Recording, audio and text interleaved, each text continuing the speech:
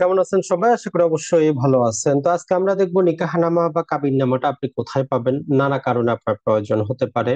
বিভিন্ন প্রকার আপনার পাসপোর্ট, ভিসা করার জন্য, দেশের বাইরে এডুকেশনের জন্য, নানা প্রকার জায়গায় আপনি যদি বিবাহিত হন, কাবিননামাটা আপনাকে শো করতে হয়। এটা ছাড়া যদি আপনার দাম্পত্য জীবনে কলহ হয়, সেক্ষেত্রে তালাক দেওয়ার ক্ষেত্রেও আপনার কাবিননামাটা খুবই গুরুত্বপূর্ণ, কারণ সেখানে একটা মোহরানার পরিমাণ উল্লেখ করা থাকে।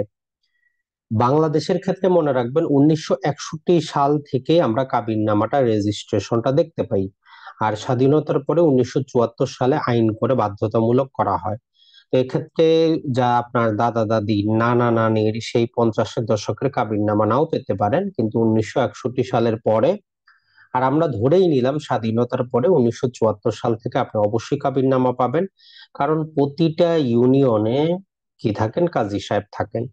এখন আপনার কাবিননামা আপনি কোথায় পাবেন? আর কাবিননামা হারায় গেলে আপনি কোথা থেকে নিবেন? তো এই সংক্রান্ত আজকের ছোট্ট ভিডিওটা আশা করি আপনাদের উপকারে আসবে।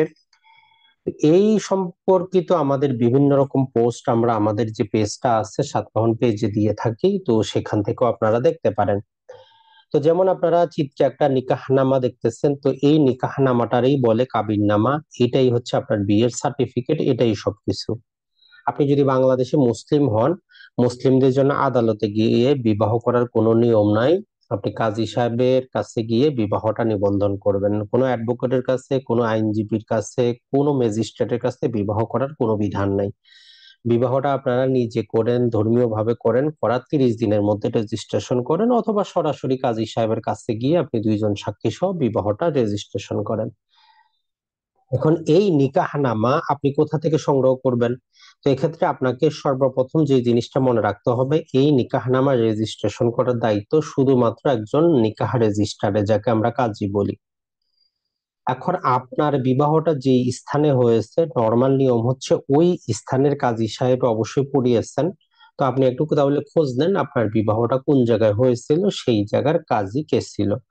যদি সেই কাজী মারা যায়, কোনো সমস্যা নেই। আপনি ওই জেলার, জেলা রেজিস্ট্রারের সাথে আপনি আলোচনা করলে আপনার সালটা আপনি যদি জানেন, তাহলে আপনি সেখান থেকে পেয়ে যাবেন।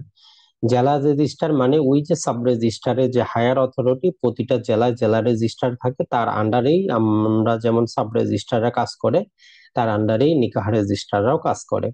তাহলে আপনার উচিত হবে আপনি খোঁজা যে কোন বিবাহ রেজিস্টার বা নিকাহ রেজিস্টার আপনার বিয়ে শাদীটা পড়িয়েছেন, তার কাছে আপনি কাবিননামাটা পাবেন। এইটা মনে রাখবেন। তো অনেক ক্ষেত্রে যেটা হয় যে আপনার জায়গাটা নিয়ে দ্বন্দ্ব থাকে, এই কাজের কাছে না ওই কাজের কাছে। তো সেক্ষেত্রে আপনার হবে একটু যাচাই করা যে কোন কাজের কাছে বিবাহটা হয়েছে সেটা জিজ্ঞাসা করা। তাহলে বিবাহ যেখানে হয় নর্মালি নিকাহনামাটা সেখানে করানো হয়। আর আপনারা যেটা করেন, কাজী সাহেবের মূল বইতে সিগনেচার করেন, এইটা হচ্ছে এখন পর্যন্ত নিয়ম।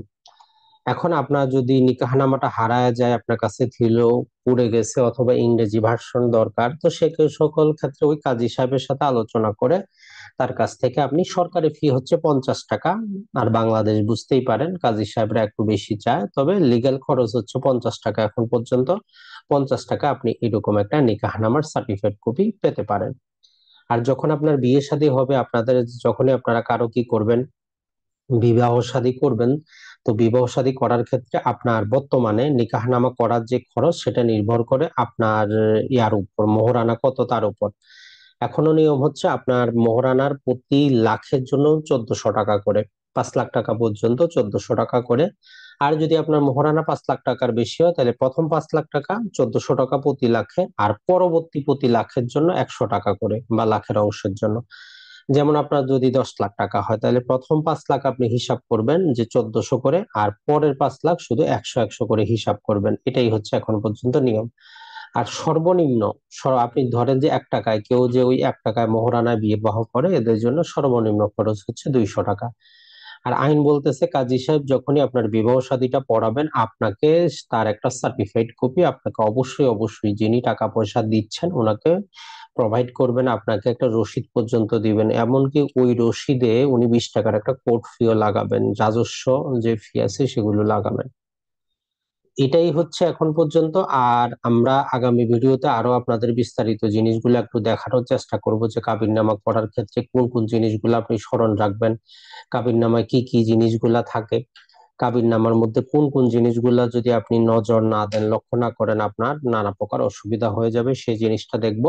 তাহলে আপনারা বুঝতে পারলেন বাংলাদেশে বর্তমানে আপনার কাবিন নামাটা নিকাহ রেজিস্ট্রারের কাছেই পাবেন। পঞ্চাশ টাকা ফি দিয়ে আপনি যত হাজার কপি উঠানো সেখান থেকে উঠাইতে পারেন।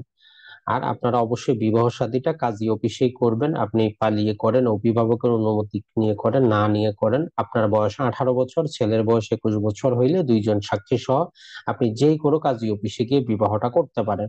কোনো আইনজীবীর চেম্বার, কোনো আপনার ম্যাজিস্ট্রেটের কাছে আদালতের মাধ্যমে যে বিবাহটা আপনারা করেন, ওইটা বৈধ বিবাহ না, আইনগতভাবে কোনো প্রতিকার পাবেন না। এই জিনিসটা মনে রাখবেন। তো আগামী পর্বে আমরা দেখব যখন আপনি এই নিকাহনামাটার সিগনেচার করবেন, যেহেতু একটা সিভিল চুক্তি বলা হয়, তো সেই ক্ষেত্রে আপনার কোন কোন জিনিসটা স্মরণ রাখতে হবে। ভালো থাকবেন, সুস্থ থাকবেন। আসসালামু আলাইকুম।